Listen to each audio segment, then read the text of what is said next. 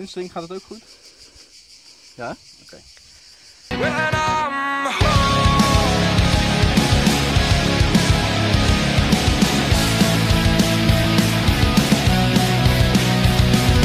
Ready? Okay guys, I'm Buck from Bearded V-Strom Rider and uh, welcome to our review of the quad lock case and mount, handlebar mount to be exact. Um, it's uh, yeah, typical handlebar mount, but it's not that typical. You just put this down here, you have a little quad lock, a little star shape um, figure here, which interlocks with the star shaped figure here. Just put it on, a little bit of finding up, and it's rock solid. Ah, rock solid. And uh, to take it off, you just push in the lip down here, and it's off. I've had it on here on my uh, handlebar on the outside. Uh, it's a little bit easier for you guys to see it than when I would have it here. I tried to film with it, but I can't really get a correct angle with it, so you're not going to see any clips from that view. Um, but it works perfect for what it's intended for. The mount can swing around the axle here with this uh, nut. Maybe you can come in a little bit closer. There's a little nut you can unscrew, little Allen key, and it has like teeth in here which make it turn around its axle. It just can put it everywhere. And the same thing with uh, this up here. You just mount it in there. You can mount it in any which direction you want.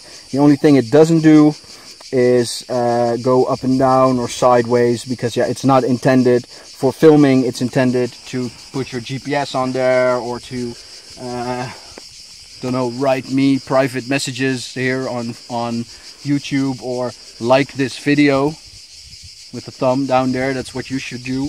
Or when you're not already subscribed, you're gonna take your quad lock, put it on there, go to YouTube and subscribe. Um, that's it, actually, basically.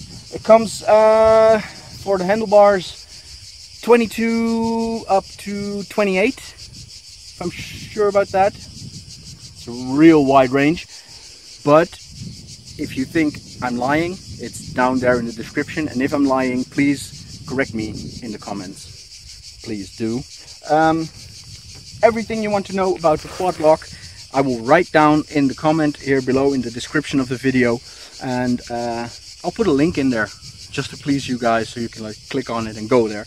Uh, it's a real great holiday gift. I know the holidays are coming up. It's July here on Sardinia. It's warm, it's hot, but I'm already thinking about Christmas because my girlfriend and I, we have this agenda, which I can also see on my telephone here on the quad lock system. It's called Time Tree. And uh, we put in our Shanky Shanky list Schenki Schenki means like gift gift in uh, German, like sweet German. And uh, yeah, Germans have a sweet little language sometimes also. And we just put everything in there. So go get Time Tree. It's a free app. You just put your Shanky Shanky list, put the quad lock system in there, and your girlfriend's gonna buy it for you. She's not gonna buy it for me because I already have one. Um, okay, well that's um, that's the quad lock system for you.